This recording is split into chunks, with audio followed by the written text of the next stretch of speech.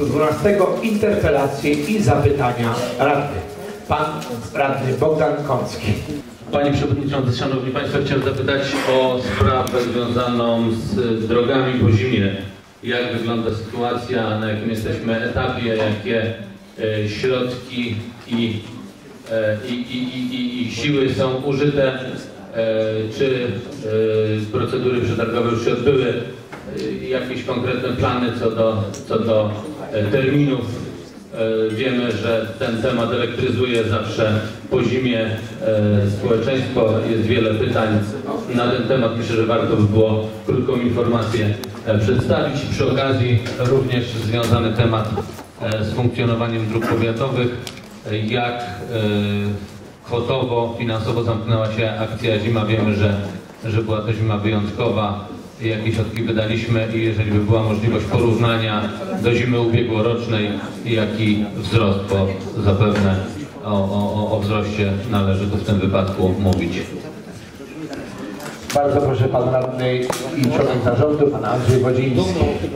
Panie Przewodniczący, Szanowni Państwo, yy, odpowiadając na pierwszą część wypowiedzi, czy na pierwsze pytanie, yy, trzeba by zacząć od tego, że zależy jaki punkt yy, odniesienia, od jakiego punktu odniesienia będziemy omawiali. Jeżeli za punkt odniesienia yy, przyjmiemy yy, rozstrzygnięcie przetargu i podpisanie umowy z firmą, która wygrała przetarg na y, porządkowanie naszych dróg po zimie, to mamy opóźnienia mniej więcej o tyle, o ile dłużej nas nawiedziła zima, przekraczając wszystkie dopuszczalne i przewidywanie, przewidywane normy. A więc jeżeli, za, jeżeli taki punkt odniesienia przyjmiemy, mamy opóźnienia o ponad miesiąc. Natomiast jeżeli za punkt odniesienia przyjmiemy mm, y, realne mm, podejście, prawda, czyli jeżeli za punkt odniesienia przyjmiemy moment, kiedy zima sobie od nas odeszła, to to y, firma, która wygrała przetarg, y, y, w porównaniu z harmonogramem, który otrzymała i który zaakceptowała, y, ma opóźnienia, czyli w tym układzie my mamy y, powiedzmy te, również te opóźnienia rzędu kilku dni. Y, rzędu kilku dni. Y, Dlaczego? Dlatego, że firma wygrywająca przetarg tłumaczy się, iż no nie przewidziała, że aż tyle y, piachu po zimie y, będzie musiała zebrać. Y, Pojazdy firmy mają pojemność maksymalnie 5 ton i zapełniają się po objechaniu, po przejechaniu kilkuset metrów. Yy, obliczyłem, że około 240-250 takich pojazdów musi być załadowane i opróżnione. Yy, w odniesieniu do harmonogramu firma składa co kilka dni raport, yy, meldując pisemny, pisemny raport, meldując jakie drogi zostały całkowicie oczyszczone, jakie częściowo i jakie w następnej kolejności będą czyszczone. Yy, No powiedziałbym, że ze wszystkimi tymi raportami, z treścią tych raportów się zgadzam. Yy, Będzie musiała firma po prostu dokonywać tych poprawek. Teraz tak, jeżeli chodzi o porównanie yy, tej akcji zima, tak? Zima, y, czy działań pozimowych z poprzednich akcji zima i działań pozimowych, tak? Z porównanie z poprzednimi. Y, Tak, oczywiście takie porównania zostaną dokonane, ale Panie Radny troszeczkę y, z tymi porównaniami jeszcze y, za wcześnie. Za kilka dni przyrzekam, że Pan Radny otrzyma y, pisemne, pisemne y, porównanie. Jeżeli można, tak? Dziękuję za wyrażenie zgody. Kiedy będą załatane dziury na drogach? No tak, bo to rzeczywiście też, też y, rzeczywistość pozimowa. Y, Tak zwane ubytki, czyli krótko i dosadnie mówiąc, po prostu dziury. Łatane są sukcesywnie, zarówno y, poprzez działania na skutek zlecenia firma, firmy, firmie zewnętrznej, ale przede wszystkim ubytki łatają pracownicy zarządu dróg powiatowych. I Panie Radny, te działania będą y, bardzo konkretnie i skutecznie, mm, bardzo konkretnie widoczne i skuteczne w momencie, jak nasze, mm, jak nie tylko tak zwany recykler, czy z tą masą bitumiczną na gorąco, wyjedzie, tylko również chodzi o możliwość pracy naszych dwóch remonterów. Y, Zasada jest taka, iż emulsja bitumiczna może być produkowana tylko wówczas, jeżeli co najmniej kilka, kilkanaście dni yy, posiada temperaturę powyżej, około powiedzmy 10 stopni. I właśnie kilka dni temu zarówno dostawę emulsji bitumicznej yy, odebraliśmy, jak i oczywiście gryz do remonterów również przyjechało w odpowiedniej ilości. I nasze yy, remontery, jeden nasz remonter miał wyjechać dzisiaj. Pan dyrektor nie kiwa głową, no to jeżeli nie dzisiaj, to musi jutro wyjechać musi jutro wyjechać na, na drogi i wtedy zauważymy bardzo skuteczną y, tą akcję. Y, kiedy wszystkie zostaną połatane. Ja bym chciał, żeby 40, 400 km, prawie 400 km dróg w całym powiecie zostało połatane Zaraz, jutro, pojutrze, za miesiąc. Y, Panie radny, y, dodam, że aby zintensyfikować i przyspieszyć to łatanie, pracownicy od przyszłego tygodnia, pracownicy Zarządu Dróg Powiatowych będą pracowali równa, również w terminie ponadnormatywnym, w godzinach ponadliczbowych, zarówno y, w każdy dzień roboczy, jak i y, w sobotę. Y, Po to właśnie, żeby bardzo mm, skutecznie, racjonalnie i efektywnie wykorzystać możliwości tych naszych dwóch remonterów, ponieważ y, czas przygotowawczo-zakończeniowy pracy tych remonterów każdego dnia y, jest dosyć duży, prawda? A więc chodzi o to, aby y, rzeczywisty czas pracy wydłużyć tym ludziom i tym maszynom. Panie Radny, w możliwie najkrótszym czasie będą naprawione nasze drogi.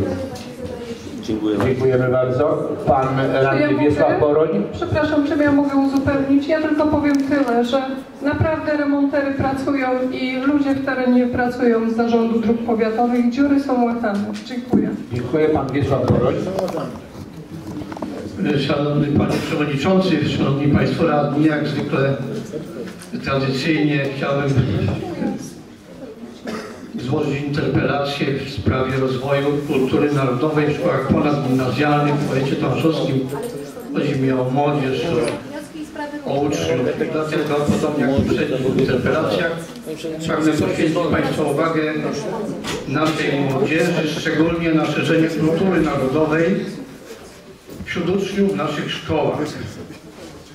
Możemy wiele zrobić, aby ich odwieźć od uzależnienia się od narkotyków, od alkoholu, a uzależniać ich bardziej od nauki, kultury, sztuki, sportu. Dlaczego jest to teraz takie ważne? Jak wiemy, właśnie na młodym pokoleniu skupiają się najbardziej agresywne, patologiczne tendencje obecnych czasów. Jak praca, alkohol i narkotyki marnują ich energię, tłumią młodzieńczy zapał i entuzjazm.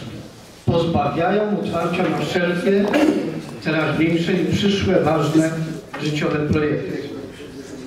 To jak nie my powinniśmy wspierać młodych ludzi w dostrzeganiu w nich głębokich aspiracji do autentyczności, do kultywowania tradycji narodowych, lokalnych i rodzinnych. Powinniśmy pomagać im otwierać na śmiałe propozycje mające źródła w kulturze narodowej. Powinniśmy dążyć do upowszechniania wśród nich tradycji narodowych, które zawsze były i nadal są znakami naszej wolności. W poprzednich historycznych okresach naszej ojczyzny to te tradycje wiodły naszych dziadków, rodziców i nas samych najpierw do wolności duchowej, a w konsekwencji do wolności terytorialnej.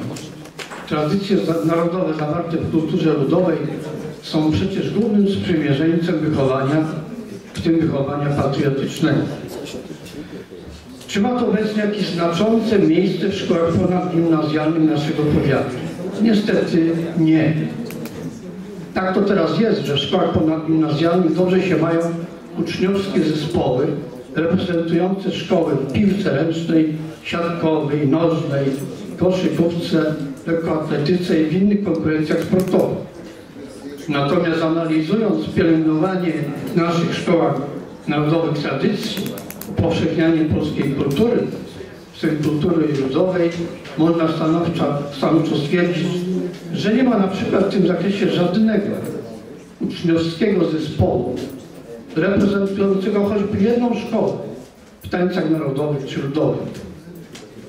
Na, ses- na ostatniej sesji Rady Powiatu była mowa o roli kultury w naszym powiecie w odniesieniu do sportu. Kontynuując ten problem, można wysnuć tezę, że, zamykanie się szkół w obszarze sportu prowadzi do uzależnienia się środowiska poszczególnych szkół od tego typu zainteresowań. Temu uzależnieniu służą wybudowane i budowane przy szkołach hale sportowe boiska. Pomagają dyrektorzy, którym w tej sytuacji zależy na osiąganiu wysokiej pozycji szkoły w konkurencjach sportowych i potwierdzeniu tym samym celowości zainwestowania w obiekty sportowe. Jest to na pewno pozytywne zjawisko, ale gdzieś w tym wszystkim usycha w szkołach źródło kultury narodowej. Prawdziwe źródło narodowego dziedzictwa i prawdziwe źródło patriotycznego wychowania. Niektórzy powiedzą, nawet z uśmiechem, że dzieje się to w gminnych domach, y, domach kultury. Można na to odpowiedzieć, że sportowe konkurencje można z powodzeniem uprawiać w miejskich gminnych klubach sportowych.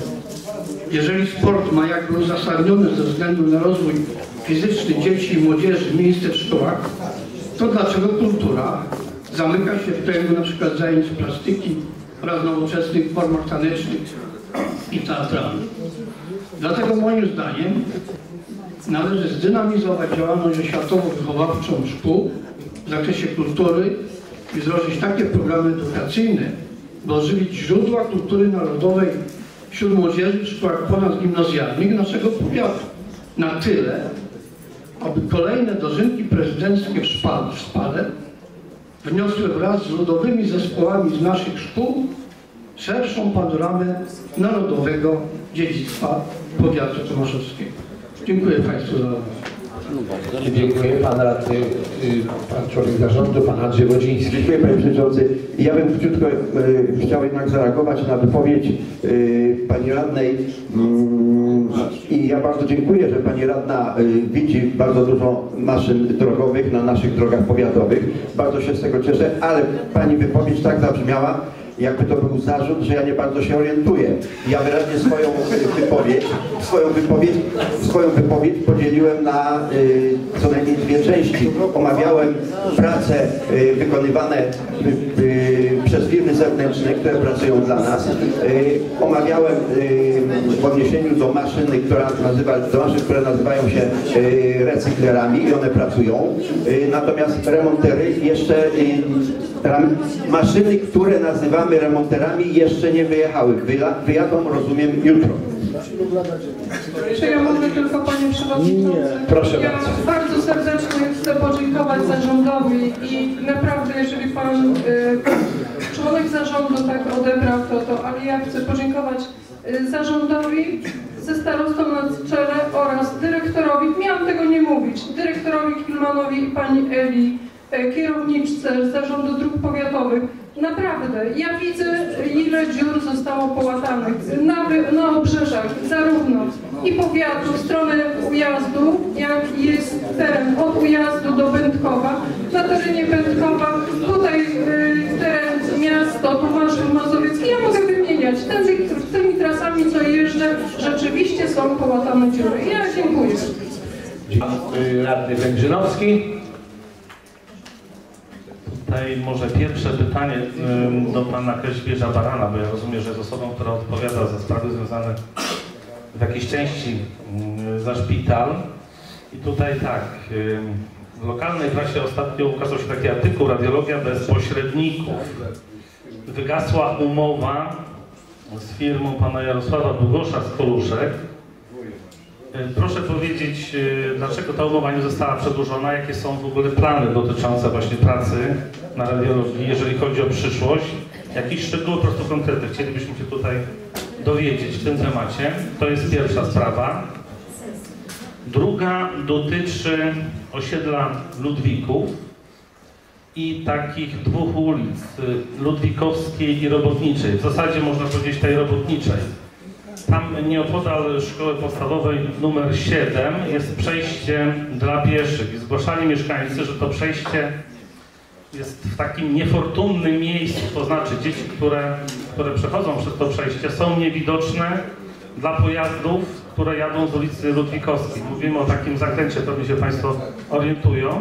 I była taka serdeczna, byłaby taka serdeczna prośba, żeby ewentualnie to przejście prawda, przesunąć o taką odległość, żeby no, tutaj było zachowane odpowiednie bezpieczeństwo. To jest ta kwestia. Jeżeli chodzi o taką inną sprawę, można powiedzieć drobną, może się Państwo zdziwicie, że o niej mówię, ale zapytam. Kilka dni temu obchodziliśmy 73. rocznicę zbrodni katyńskiej na naszym tutaj cmentarzu wojennym w Tomaszowie Mazowieckim. Yy, Ja również uczestniczyłem w tych uroczystościach i składałem wiązankę kwiatów w imieniu pana posła Antoniego Macierewicza i Zarządu Powiatowego Prawa i Sprawiedliwości. Jakież, e, proszę Państwa, moje zdziwienie, gdzie na filmie, na stronie internetowej starosta powiatowego jest ucięta część wypowiedzi zapowiadającej delegację. Nie było tego przy okazji innych delegacji.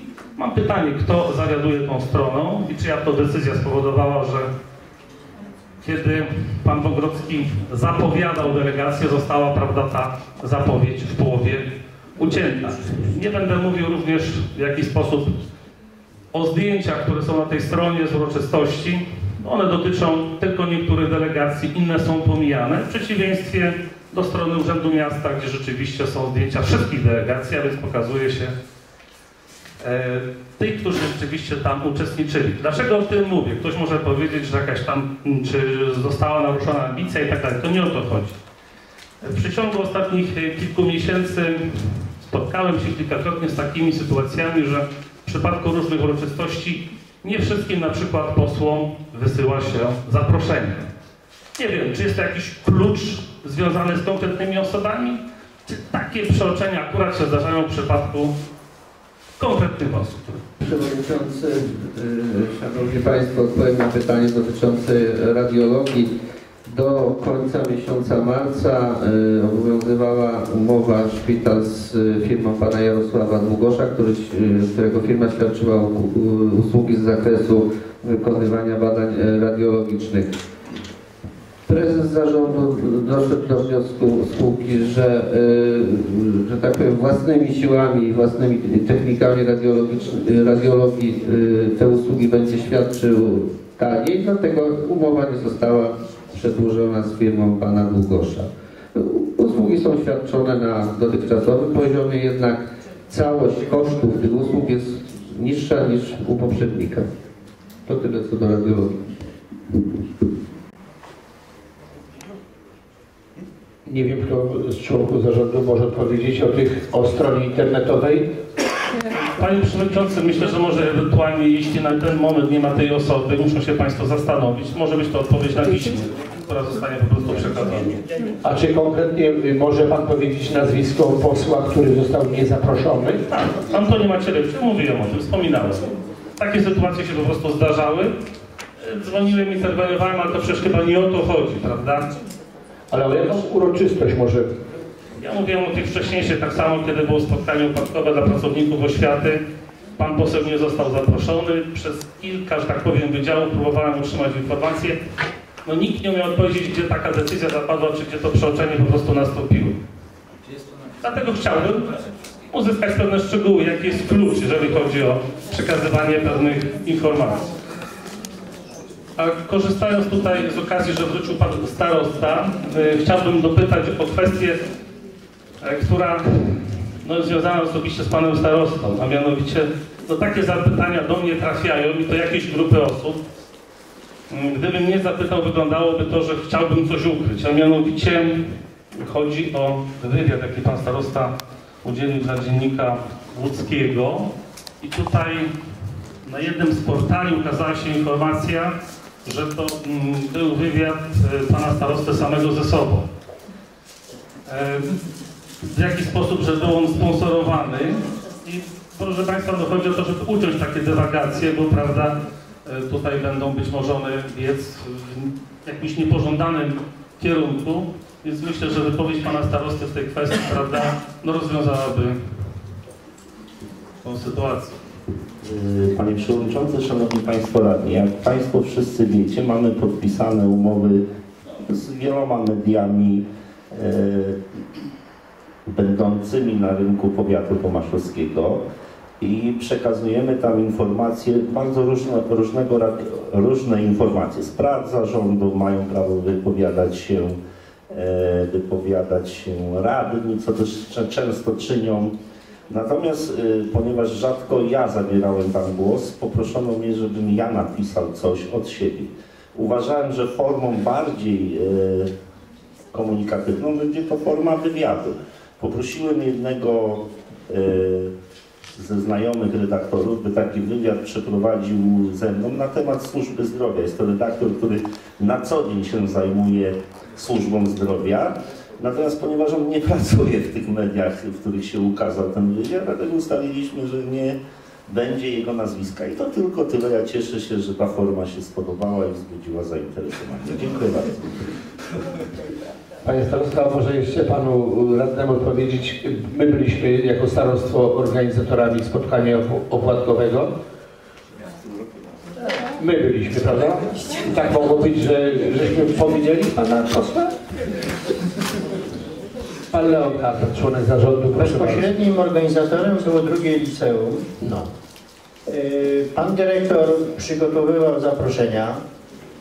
Y, Rozmawiałem z panem radnym y, Mariuszem, ponieważ otrzymałem taką informację, iż pan poseł Antoni Macierewicz nie otrzymał w jakimś czasie, na czas 18 stycznia bieżącego roku na spotkanie opłatkowe zaproszenia. Y, Po tej rozmowie y, uruchomiłem linię telefoniczną, zaproszenie do biura i w Piotrkowie Trybunalskim i na adres prywatny do Warszawy. Pan Macierewicz, poseł, uczestniczył w spotkaniu. Ja tylko mogę dodać i złożyć deklarację, że już zapraszam na wszystkie uroczystości, które organizuje powiat e, tomaszowski posła Antoniego Macierewicza. Niech się czuje na każdą uroczystość zapraszam. Dziękuję. Czy są pani Ewa Wędrowska? Ja mam tylko taką sugestię w związku z tymi uroczystościami, szczególnie z tymi uroczystościami patriotycznymi, y, w których uczestniczą y, starsze osoby już, tak? Tak jak teraz te uroczystości katyńskie, czy teraz będą niedługo, będzie 3 maja, tak? Y, Żeby, tak, żebyśmy...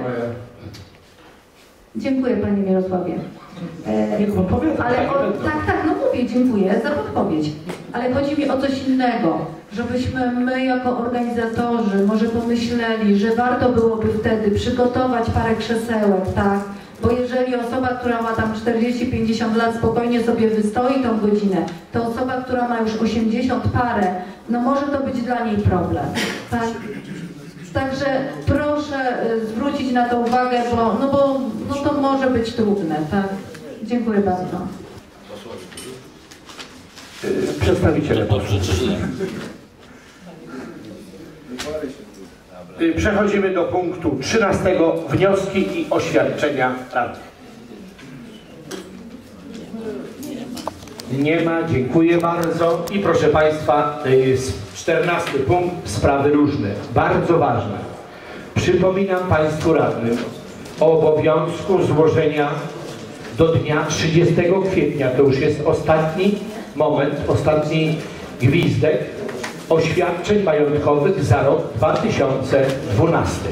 więc żeby nie było później szukania telefonów, y, grzania, więc bardzo proszę y, dopilnować ten dzień jako taki ostateczny i złożyć w biurze Rady oświadczenie. I to, co do tego potrzeba, wszystkie załączniki. Czy są jeszcze w sprawach różnych? Zamykam obrady 33 sesji Rady Powiatu w Tomaszowie Mazowieckim.